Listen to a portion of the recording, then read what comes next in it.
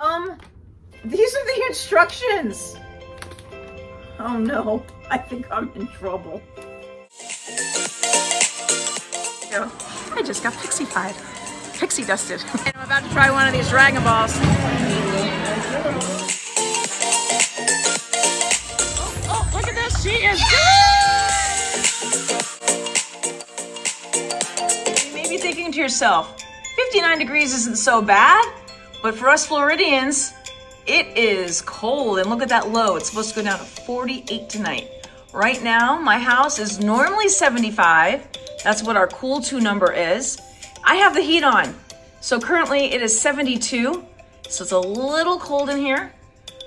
And now you'll know why I'm going to get firewood. That is my goal. I'm going to go get firewood and go to my favorite Mexican restaurant to grab some, at this point, dinner.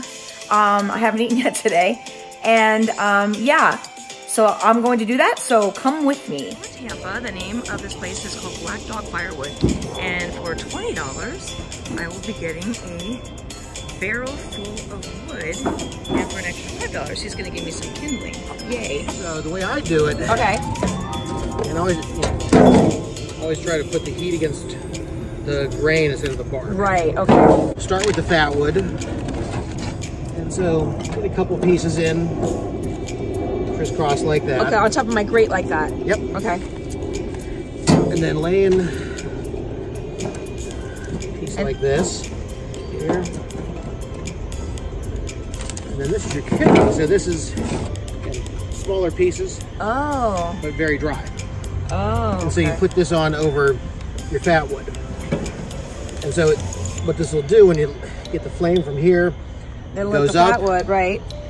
And then what And then- about this? This is this. This is still the regular wood yep, though. it's still the wood. And then you just keep building it up over top like that. Okay. Always, always But building. so the air can come up through it. you want the air and the heat to come up. So you're always putting the wood over top where your flame and your heat is. So that was David who taught me how to make a fire. Now hopefully I can do it on my own. I think he might be the owner. He was super nice. Now it's time to go down the street and get a tamale at my favorite place.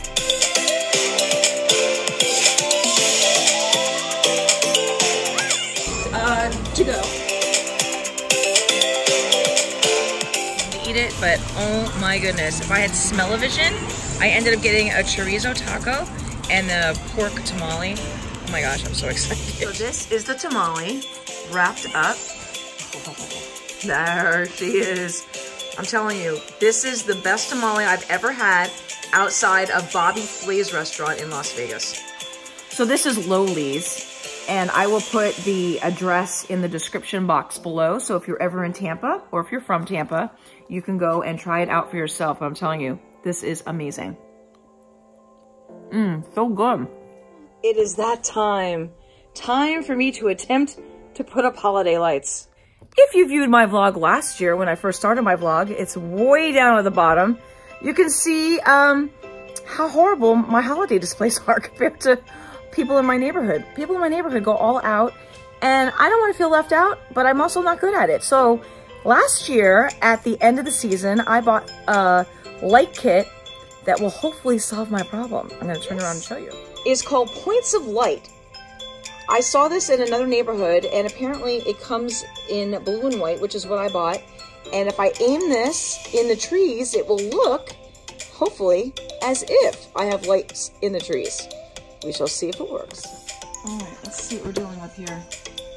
It's this ginormous ball. Um, these are the instructions. Oh no, I think I'm in trouble. Success! I attached the stick to the light. I'm making progress. Okay, I've got a problem with the remote. My husband's not home and I need for him to help me with this because this was open and now it won't open and I can't figure it out and I'm not even sure if there's batteries in here. It's supposed to come with batteries. I'm very confused. This sucks. Here's the problem.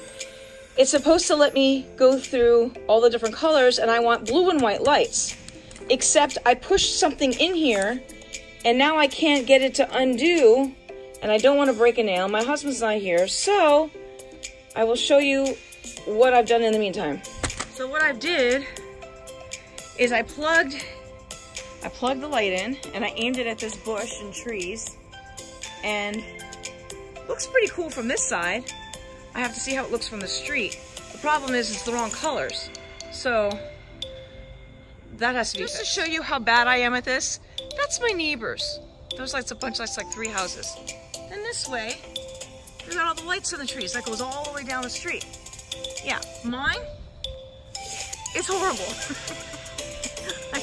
every year I try and every year I fail. But you know what? It's festive. Wrong color lights. I want blue and white only. Um, I gotta figure out these lights. It looks kind of cool, I guess, if I shut the front porch light off. Still working on it.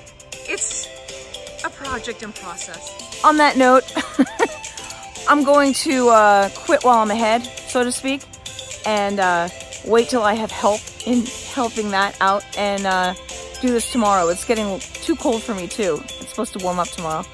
So stay tuned for part two of holiday decorations because, uh, yeah, it's not nearly done yet.